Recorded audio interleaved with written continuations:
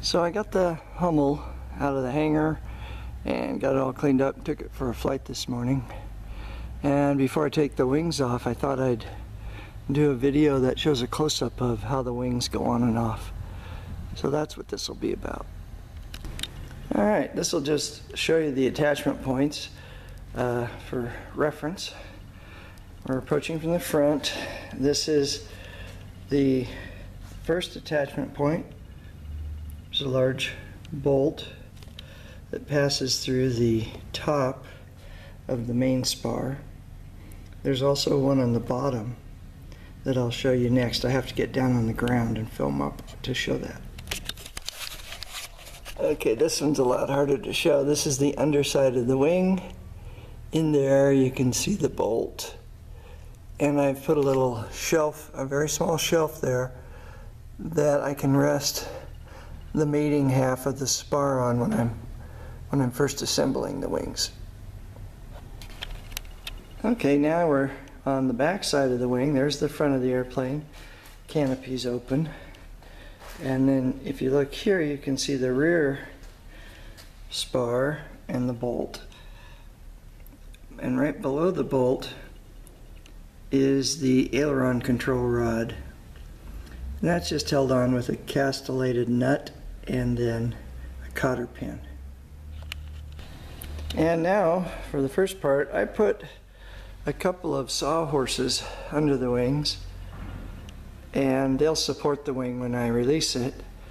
I set them up so they're a couple of inches to the outside of a rib so that when I set the wing on the sawhorses, they are supported by the rib. As an example here, you can see that this sawhorse is just a little bit to the left of the rivet line for that rib so that when I move it a few inches to the left to separate it from the fuselage it'll be pretty much sitting on its strongest point which is a rib line. Okay these look kind of weird but what they are is a couple of steel pieces that I made that hold the nylon webbing across the wing. So this is two inch nylon webbing and I'll thread those steel plates through a small gap at the back of the aileron. I'll show you where that is. And then I'll stretch the webbing around the wing so that when I pull it tight I can lift it, the wing up and control it with the webbing you'll see. Okay and this shot. I've got the webbing secured at the aft end in the aileron slots with those metal brackets. And then I've stretched the webbing to lay along a rib line. If you look carefully here there's a rib line. Again so that when I lift on these straps they'll lift on the strongest part which is the rib lines. So what I'll do then is I'll throw those ends of the straps under the wing and connect them to the underside of those brackets so that I've got it completely entrapped. I'll show you when I do that. I have to get on the ground. Okay, you may remember that the bracket goes into the, the gap in the aileron there and then threaded back on itself. The webbing is right there. And then if we go below, looking below, you can see that same strap that I had. And hopefully you can see the slot in the bracket. So I'll put the webbing on there. It's kind of hard to do while you're filming. Anyway, now it's there and then when I pull this top piece I'm really I'm tightening that up and then this steel bracket will take the weight and distributed across the webbing. And then I do the same over here, two rib lines over, same process. And once it's in place, it kind of looks like the black arches, and letter M. And then I'll come up when I'm ready to start moving the wing and I'll place this webbing over that webbing, keep it right on the rib line, And I'll grab it with my hand and same on the other side and I'll be able to control it and lift it up. I'll show you that in a minute. Okay, so now everything's in place to remove that wing. Okay, here I use these ratcheting wrenches on the bolt and the nut. Okay, and now removing the nut off the back of the bolt.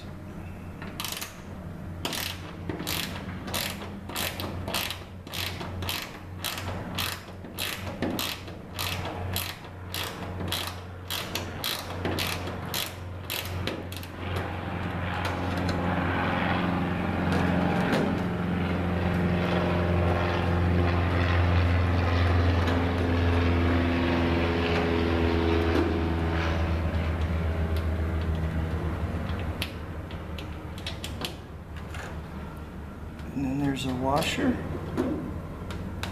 I'll lift on this webbing to my left a little bit and then we'll release some of the strain on the bolt and the bolt just pops out. Then I'll do the same for the bottom, but I'll, I'll be on my back, upside down and backwards for that.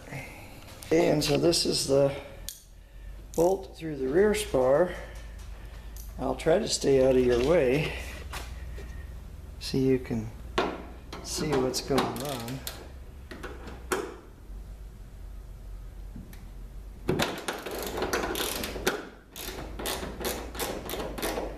I already removed the bottom bolt on the main spar. Couldn't film that one easily. Uh, because that was on my back. Anyway, this one I usually just spin it off with my thumb and let it fall wherever it goes. I'll collect it in a minute.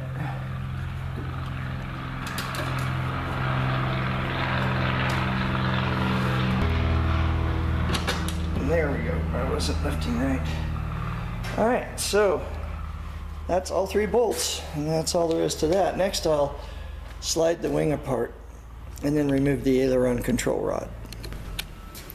Okay, now this is why I set up that webbing earlier. I'll grab these two straps and then I'll place my legs against the leading edge to support the wing and then I'll slide it out so that I've disconnected it from the spars.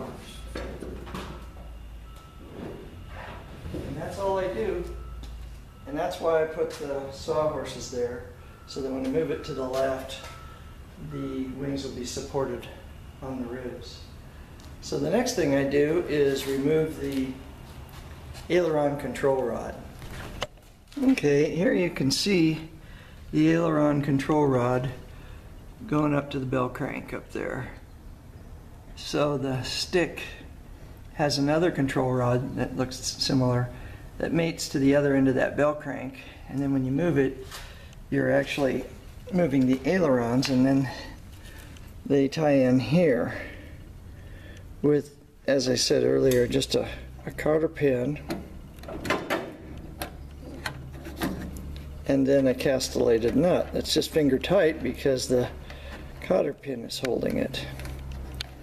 And so that's what makes the ailerons move up and down, is that joint there. Gives you a very positive feel. It makes the airplane extremely responsive when you're flying it. It's wonderful. Anyway, that's it. The wing is now free, and I can use those webbing straps from top to put it into the cradle. I'll show you that next.